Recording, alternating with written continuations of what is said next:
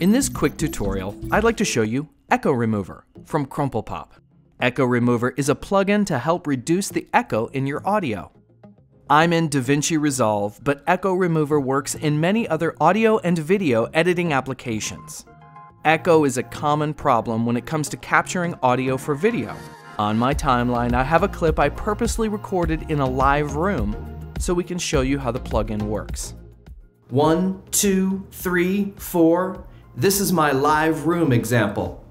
CrumplePop Echo Remover can be found in the Effects library under Audio Effects. I'll drag it to my clip.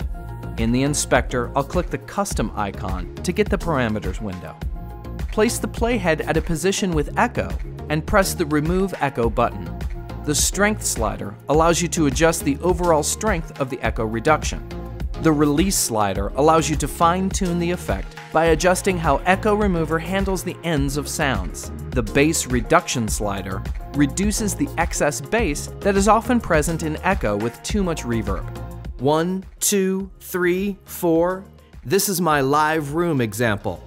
With a simple drag, drop, and a few tweaks, you can have echoless audio in just a few seconds.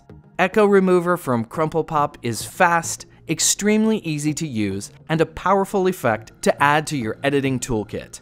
FX Factory offers a huge selection of great effects, and if you don't have them yet, I suggest you go try them out at fxfactory.com.